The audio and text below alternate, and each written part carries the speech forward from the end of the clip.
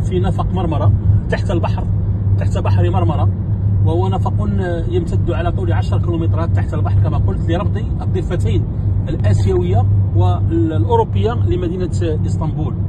وهذا الورش يعني بضخامته يعني أبهر آه، العقل الهندسي في العالم بحكم أن مدينة إسطنبول ذات الكثافة السكانية التي تتجاوز 15 مليون نسمة.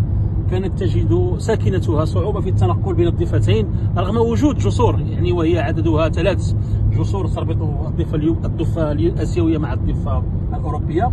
ولكن هذه الجسور لم تكن آه، تحل المشكل مما اقتضى بصانع قرار سياسي في تركيا أن يحشد آه، المونتاج المالي والمؤسساتي والهندسي بإنجاز ورش من الضخامة بمكان ألا وهو هذا الورش ديال نفق بحر مرمرة. نحن الآن نمشي في النفق تحت البحر على مدى كما قلت 10 كيلومترات. وأتمنى من المسؤولين المغاربة أن يستلهموا مثل هذه المشاريع.